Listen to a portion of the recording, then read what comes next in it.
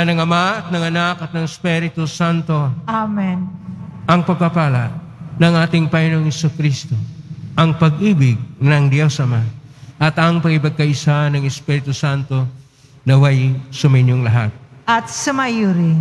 Mga kapatid, ngayon at 13 ng Setyembre, gunit- gunitain natin ngayon si San Juan Crisostomo, Obispo, pantas ng simbahan, at tagapagdepensa sa mga mahirap.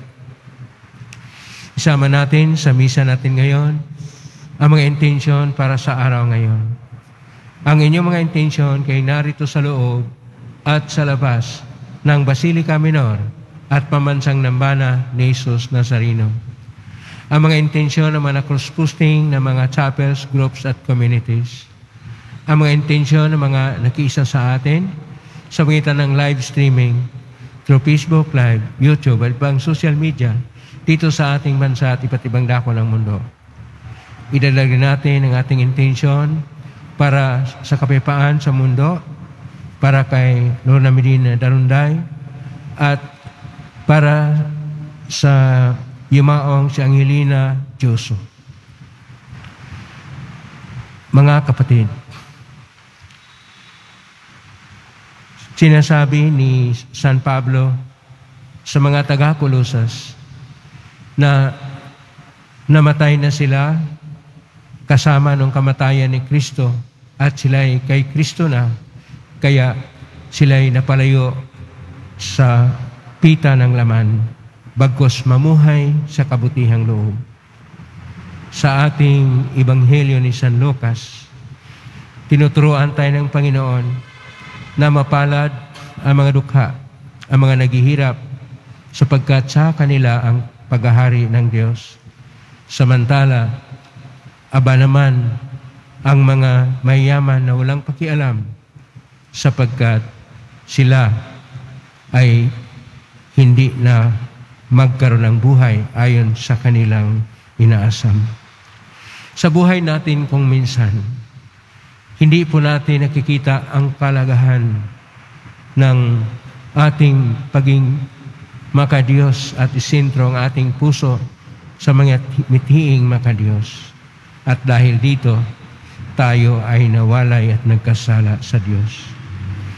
Tayo ngayon, kinakailangan na magbalik loob. Kaya dumulog po tayo sa mga Panginoon, nagpapatawad ng lubos. Sino kong tagapagpagaling sa mga nagsisisi, Panginoon, kaawaan mo kami. Panginoon, kawaan mo kami. Dumating na tagapaganyayang mga makasalanan ay magsisi, Kristo, kaawaan mo kami. Kristo, kawaan mo kami. Nakakalaplo ka sa kanan ng Diyos Ama para ipamagitan kami, Panginoon, kaawaan mo kami. Panginoon, kawaan mo kami. Kaawaan tayo makapangyarihang Diyos, patawarin tayo sa ating mga kasalanan, at patnubayin tayo sa buhay na walang hanggan. Amen. Magsiupo po. Manalangin tayo. Ama naming makapangyarihan, pinalakas mo ang loob ng mga nananalig. Nilob mong magkaroon ng katangitanging kakayahan ang obispong si San Juan Crisostomo sa paglalahad sa iyong salita at sa pagtitiis ng mga pasakit, buhat sa mga ayaw tumanggap sa iyong aral. Ipagkalob mong kaming natuto sa kanyang pinagmalasakitang il- ilahad ay mapalakas ng halimbawa ng kanyang pagpaumanhing di mabubuhag. Ilahog namin ito sa pangitan ni Kristo kasama ng Espiritu Santo magpa sobrang hanggan. Amen. Magsiupo po ang lahat.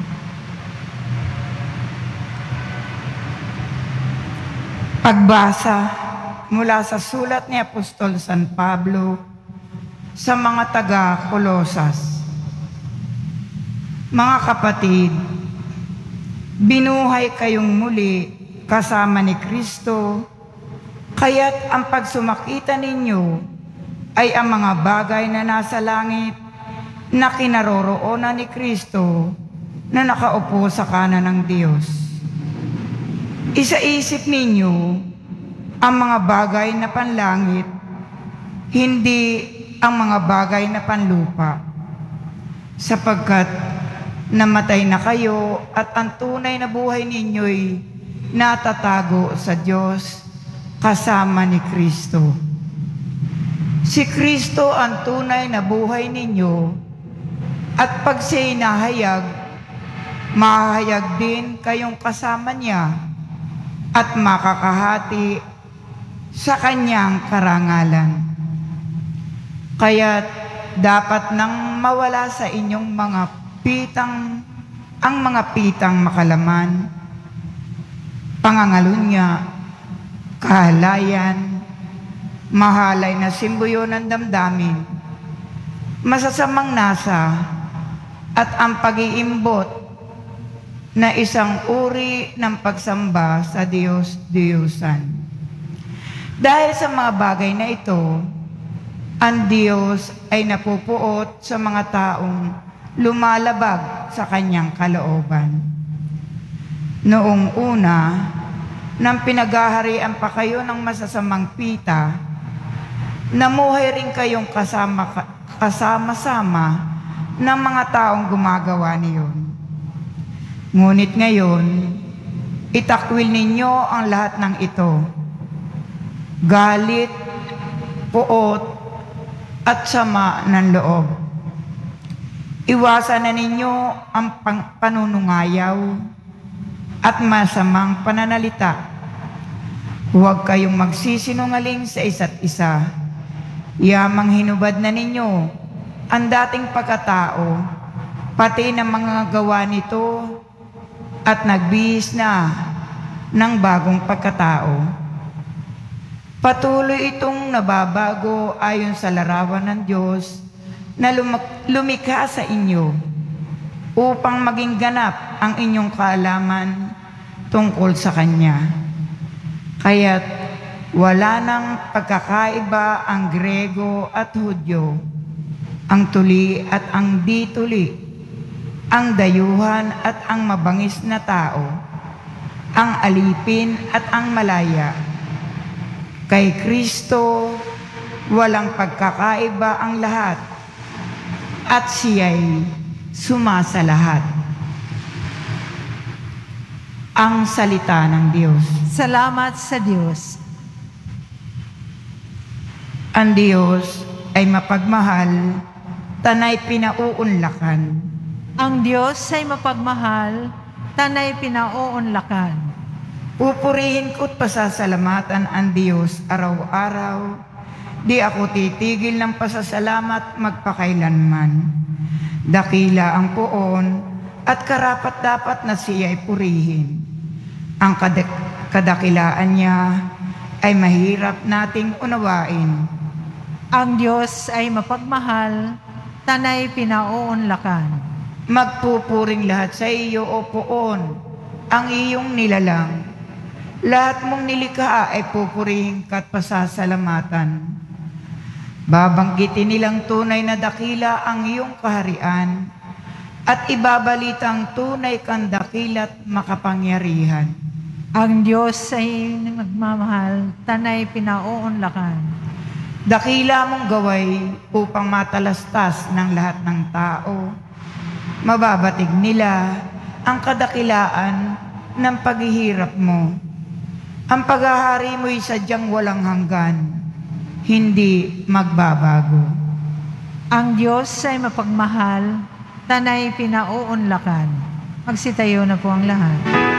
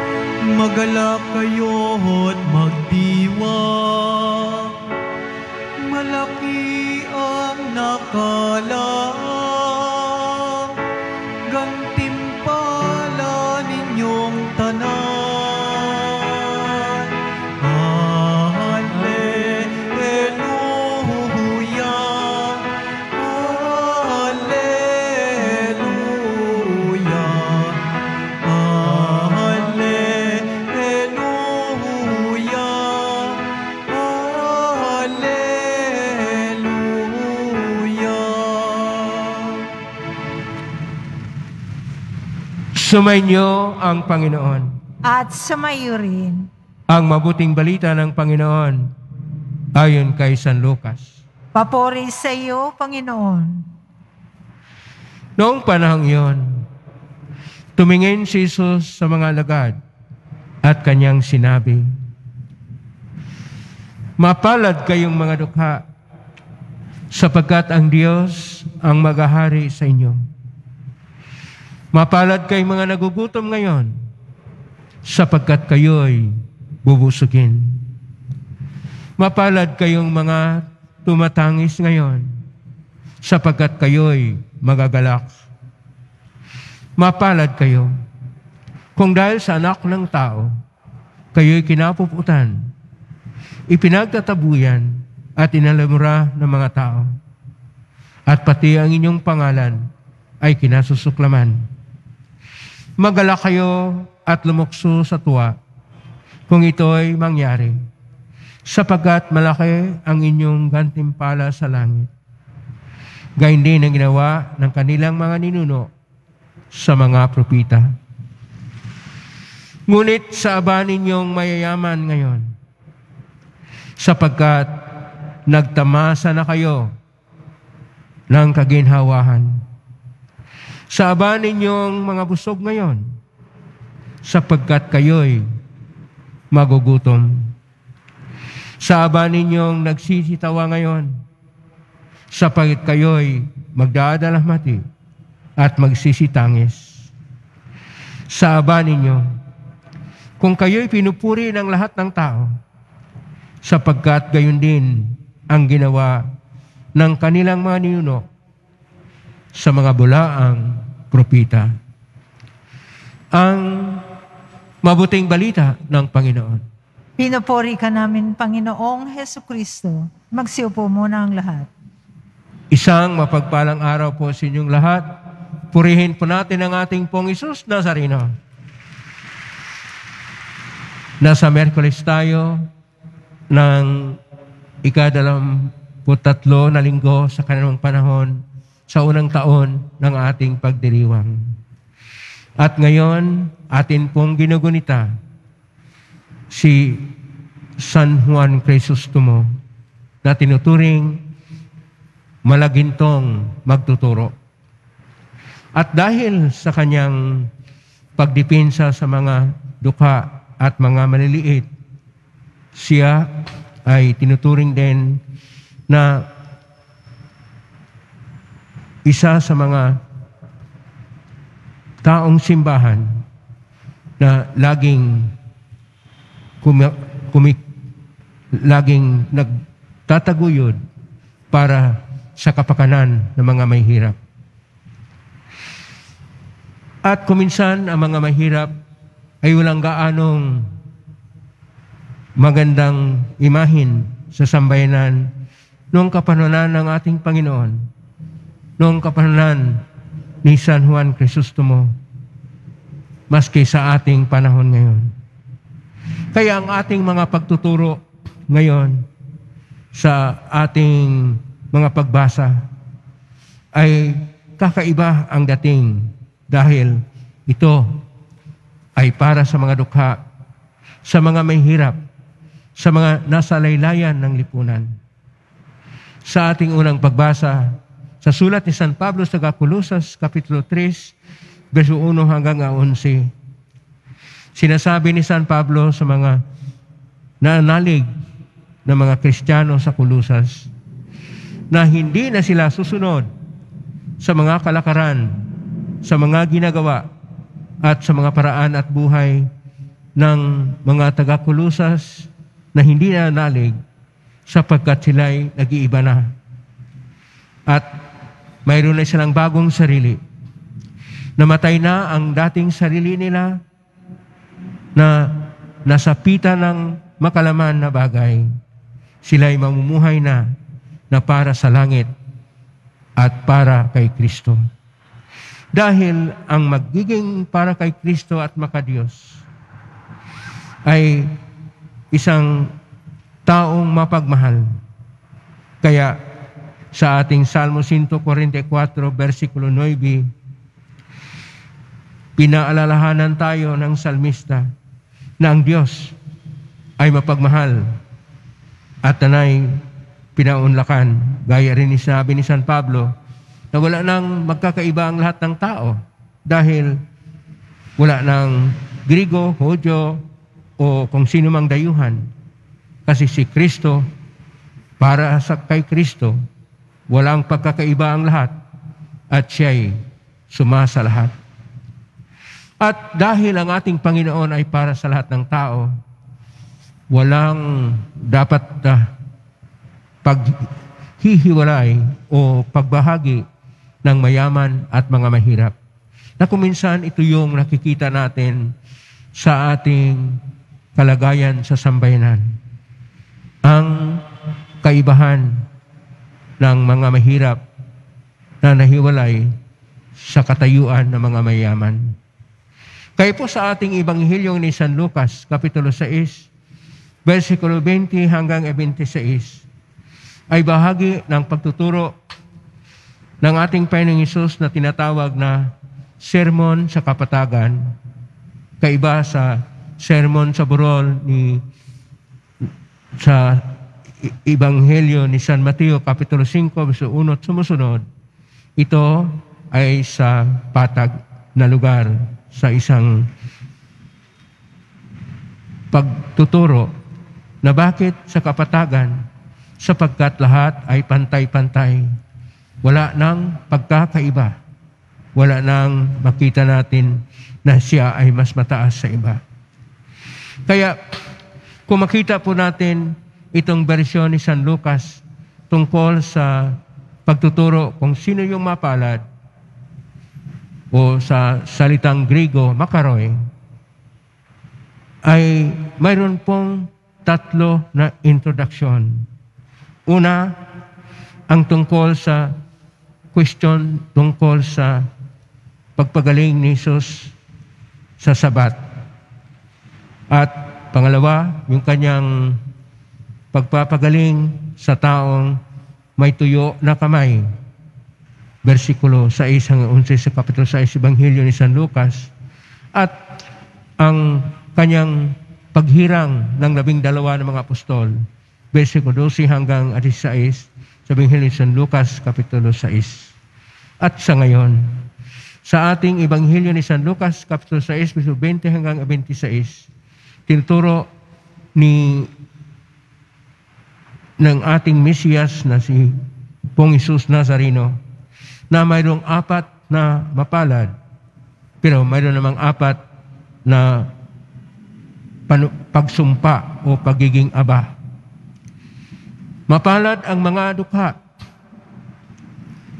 ang mga nagugutom, ang mga tumatangis, at ang mga kinapuputan o inuusig dahil sa pangalan ng ating Panginoon sapagkat mapasa kanila ang paghahari ng Diyos. Ngunit sa aba naman o sinumpa naman ng mga mayaman na walang ibang pagtingin sa buhay ay yun lang pagtamasa ng kanilang kaginhawaan, yun lang kawalan nila ng pagtingin sa mga nagugutom, yung lagi na silang nagkaroon ng pagdiriwang nagsitawalang, hindi na nagdadalamhati sapagkat wala silang pakialam sa kanilang kapwa. Kung makikita rin natin sa ating sambayanan ngayon, itong tinuturo sa ating Ebanghelyo ni San Lucas, Kapitulo 6, verso 20 a 26 ng ating Panginoong Iso Kristo, ay ganun din ang mga pangyayari sa ating lipunan ngayon. Ang ating lipunan ngayon, mayroong malaking hidwaan ng estado o kalagayan ng mga mayaman sa kalagayan ng mga mahirap o mga dukha. Napakarami ang mga dukha, kukunti lang ang mga mayaman. At itong mga mayaman na may-ari ng mga serbisyo, mga pangangalakal, at iba pang bagay, lupa at iba pang mga kayamanan, sila ang may kontrol. Kung sila ay nagninegosyo, ang kanilang ibinibayad na buwis ay napakalaki. Pero itong napakalaki na buwis ay pinapataw nila sa, sa mga serbisyo at sa mga binibili ng mga mahirap. Kaya hindi sila nagbabayad ng buwis ng tunay. Kuminsan, sobra ang kanilang panakot sa mga mahirap sapagkat lahat sa kanila ay nasa luklukan naman ng mga makapangyarihan at matatanyag na tao. Ang mga mahirap ay nasa paghihirap na kail- kailangan pang pupunta sa ibang bansa. Kailangan pang maghihirap ng napakaraming pagkakataon upang sila'y magkaroon ng kaginhawahan ng konti sa buhay. Ngunit walang pakialam ang mga mayayaman sa mga mahirap. Dito sa napakalungkot na kalagayan sa ating mundo ngayon, ay nagkaroon tayo ng tinatawag na kawalan ng katarungan. Ang atin pong ibanghilyo ngayon ay nagtuturo na dapat tayo ay magkaroon ng panibagong level ng ating buhay pananalig. Noon, si Moises ay nagtuturo sa pamagitan ng pagsunod ng mga kautusan. Ito'y tinatawag na Torah. Ang akala ng mga iskriba at mga parisiyo, kung sinusunod nila ang sampung utos o pagtuturo sa Torah o tungkol sa kautusan, ligtas na sila. Pero nagtuturo yung mga propita at nagsabi, dapat sa panibagong level. At ang panibagong level, ang pangalawa na level na mas mataas, ay ang pagkaroon ng habag at awa para sa mga tao. Ito ay hindi ganong sinunod. Marami sa mga propita ay pinapatay sapagkat ang mga mayaman at nasa kapangyarihan ay ayaw ibahagi ang kanilang kayamanan at ang kanilang karangyaan sa mga mahirap. Dumating ang ating Panginoon. At ito pa ay tinatawag na third level, pangatlong mataas na antas. At sinasabi ng ating Panginoon, baguhin na ang lahat. Yung tinuturo na sa itaas ay sa ibaba na. At ang nasa ibaba ay siyang ilagay sa itaas. Sinasabi rin ito ni Santa Maria sa kanyang awitin ng papuri sa Ebanghelyo ni San Lucas, Kapitulo 1, verses 50 hanggang 54, na ang nasa abang kalagayan ay itaas, ngunit ibagsak ang mga namumuno. Kaya itong pagbabago ay tinuturo rin ng ating Panginoong Isos na sinasabi niya sa Ebanghelyo ni San Lucas, Kapitulo 21, verso 1 hanggang 4, na yung isang balo o byuda nagbigay lang ng dalawang kusing ay mas malaki pa ang ibinibigay kaysa mga yaman na naguhulog na maginto at mga maraming pera. Na nagpapahayag ang ating Panginoon, baguhin na natin ang ating paningin sa buhay. Sapagkat lahat naman tayo ay mga anak ng Diyos. Lahat naman tayo ay magkakapatid. Bakit ang iba ay mag, magpayaman lang ng pag magpayaman at hindi na nakikialam sa mga kalagayan ng ating kapwa na naghihirap at kailangan pang maghihirap sa kanilang buhay na pwede namang magkaroon ng tunay na pagbabahaginan. Kaya sa gawa ng mga apostol, Acts of the Apostles, versikulo 2, versikulo 44, 45 sa kapitulo 2, ay sinasabi ang tunay na pagbahaginan ng unang Kristiyano na ito'y naulit din sa Kapitulo 4, versikulo 34 hanggang 35 sa gawa ng mga apostol na ang unang mga Kristiyano ay nagbabahaginan. Bakit kaya hindi natin magawa ngayon ang tunay na pagbahaginan kung kaya naman natin ito at kung ito naman ay tunay ni Kristanong mithiin? Bakit kaya napakaganid na ang ating sambayanan at kuminsan tinitingala pa natin ang nakapaglustay ng kayamanan at sila pa ang ating pinahawak ng buhay ng tao. Siguro panahon na na ating tingnan ang lahat sa pamaraan ng Diyos, sa pamaraan ng ating pong Isus Nazareno na sinasabi niya, mapalad ang mga dukha sapagkat ang Diyos ang siyang maghahari sa kanilang buhay.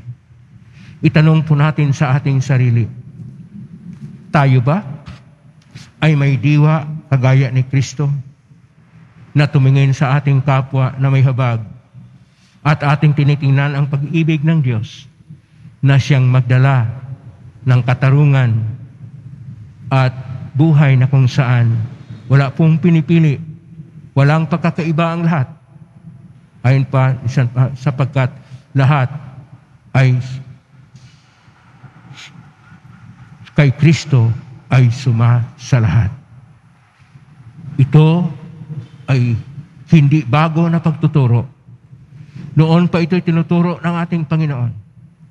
Pero magpahanggang ngayon, ilang libo na kataon ang, ang dumating, hindi pa rin nangyari ang ating pagtatayo ng sambay ng makatarungan, ng pagkapantay-pantay, at ng tunay na baginan. Dahil hindi natin na isabuhay ang kristyanong pag-ibig. Pag-ibig ng Diyos ay dapat mahipahayag sa pag-ibig ng kapwa.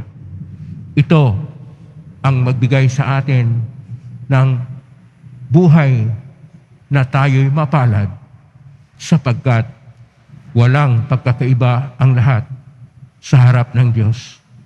Lahat tayo ay magkakapatid sa pangalan ni Kristo. Lahat tayo'y hindi maghihirap sa pangalan ni Kristo. Kaya isabuhay natin ang banal na pag-ibig ng Diyos. Amen? Purihin natin ang Diyos. Magsitayo na po ang lahat.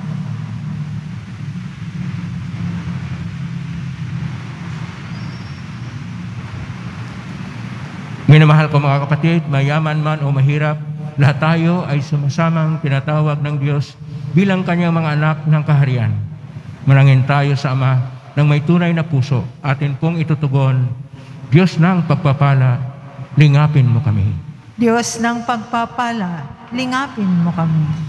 Ang simbahang dumaranas ng pag-uusig, naway patuloy na kumapit sa pananampalataya at tipunin ang lahat sa pagkakaisa.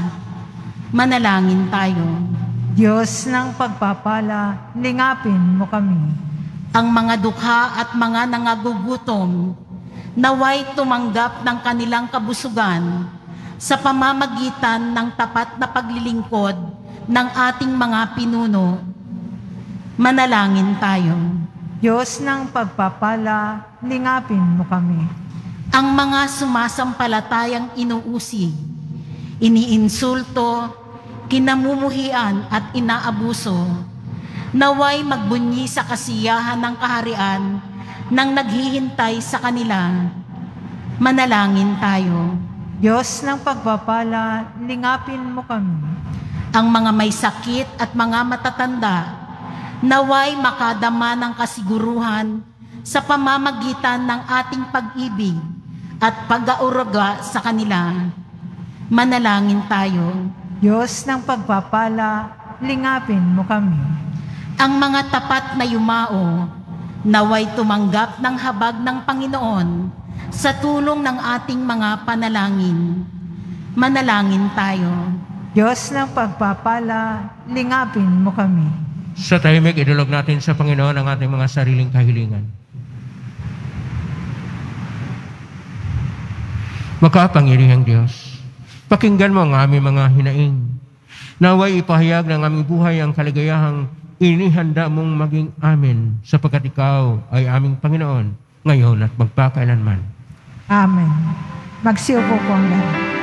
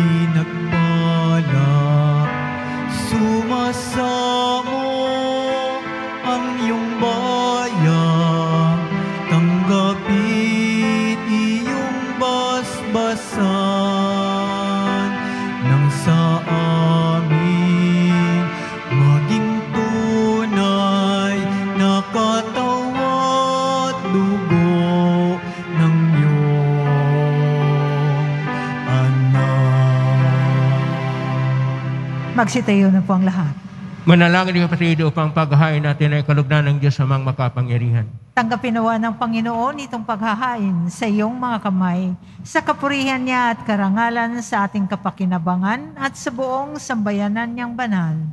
Ama naming lumikha, kalugdan mo ang aming kusang loob na paghain.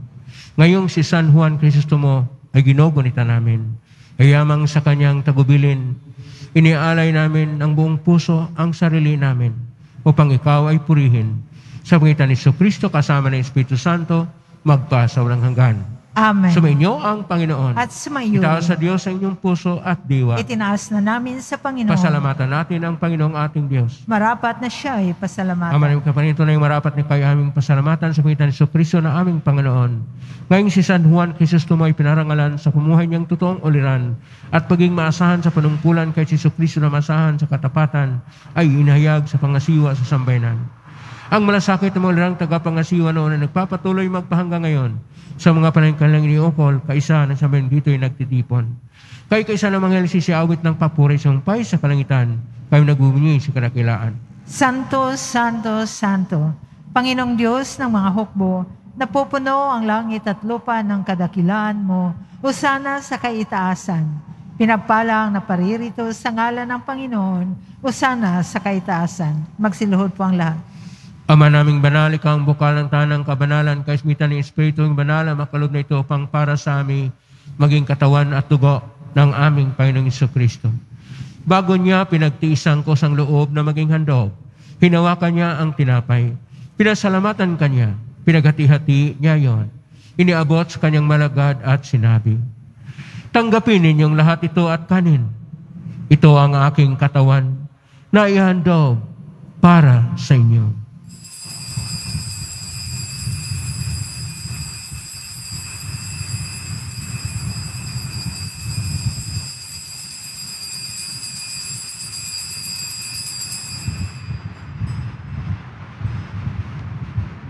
Gaya naman matapos ang hapunan, hinawakan niya ang kalis, muli kanyang pinasalamatan. Inabot niya ang kalis sa kanyang malagad at sinabi, Tanggapin ninyong lahat ito at inumin. Ito ang kalis ng aking dugo ng bago at hanggang tipan. Ang aking dugo na ibubuhos para sa inyo at para sa lahat sa pagpapatawad ng mga kasalanan. Gawin niyo ito sa pag-alala sa akin.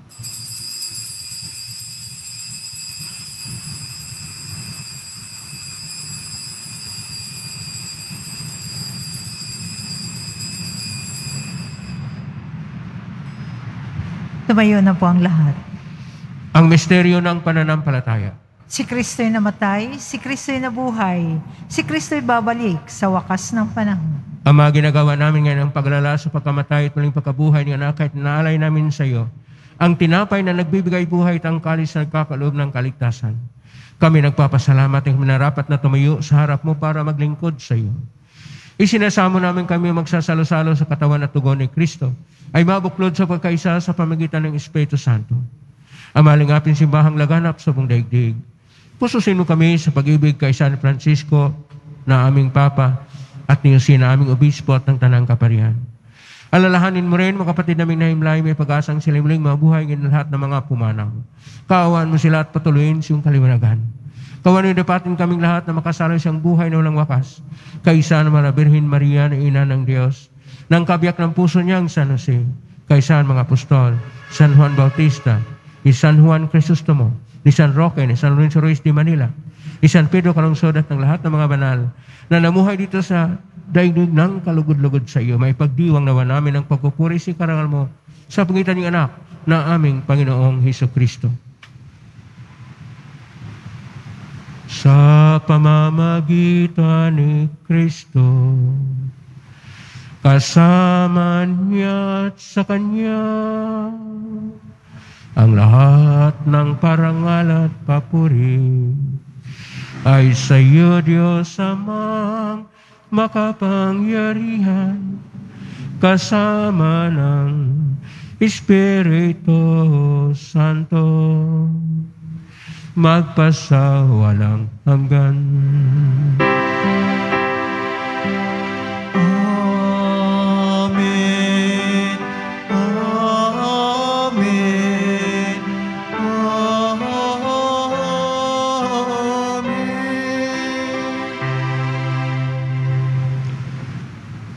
Sa tagubilin magaling na utos. Sa turo ni Jesus sa natin at Diyos, ipahayag natin ng lakas loob.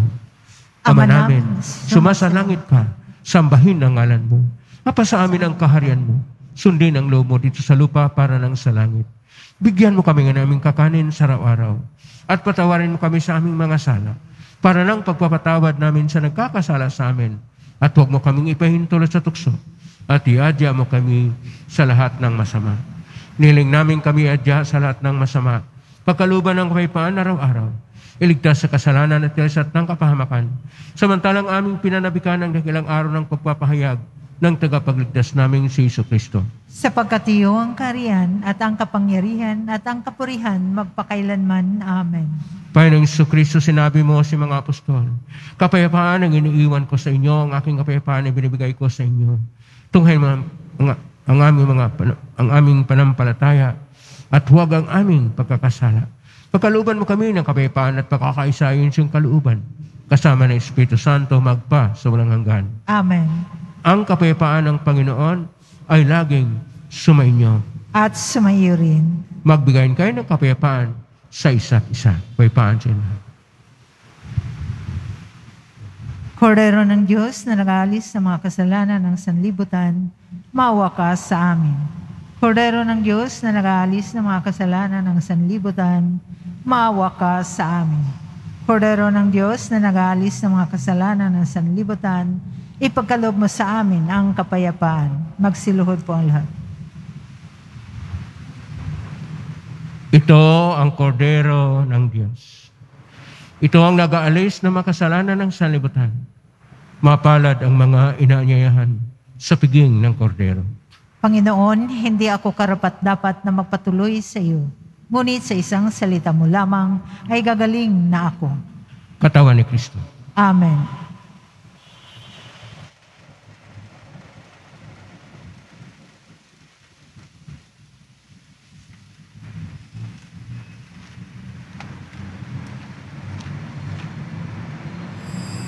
Para sa lahat ng tatanggap ng banal na komunyon, sasagot po tayo ng Amen pagkasabi ng pariyo ng lay minister ng katawan ni Kristo at isubo agad sa bibig bago umalis sa harapan ng pari o ng lay minister.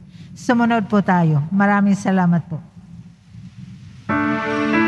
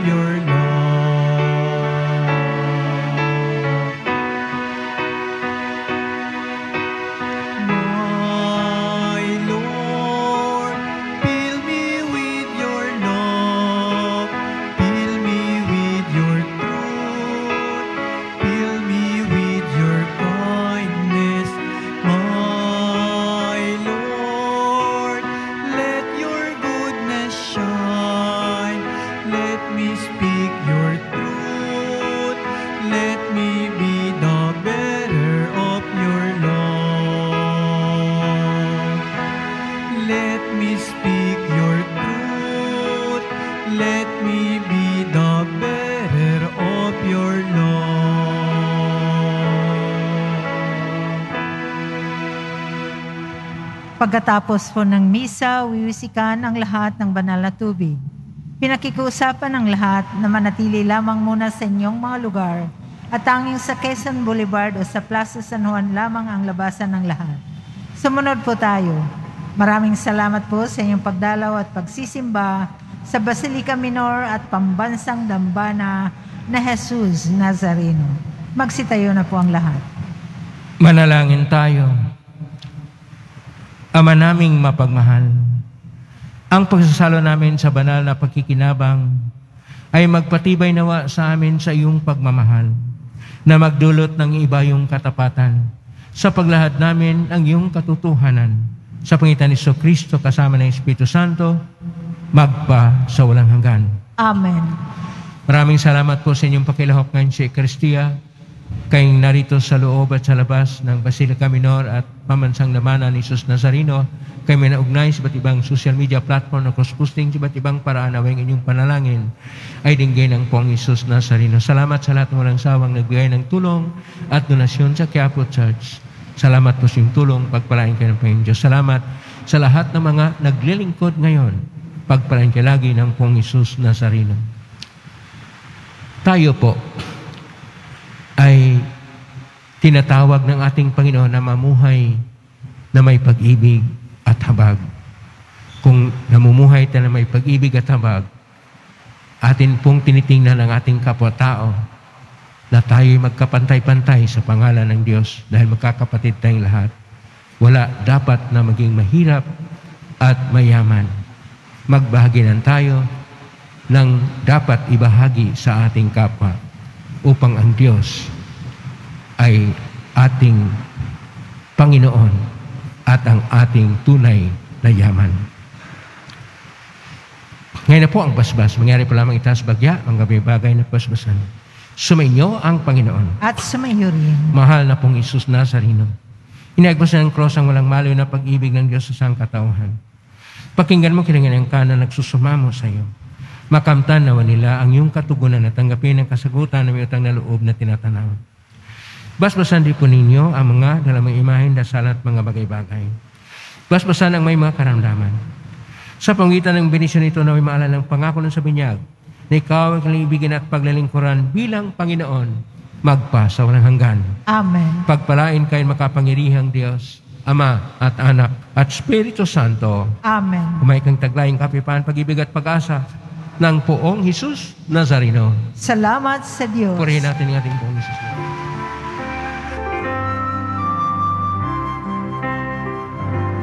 Nuestro Padre Jesús Nazareno, sinasamba ka namin.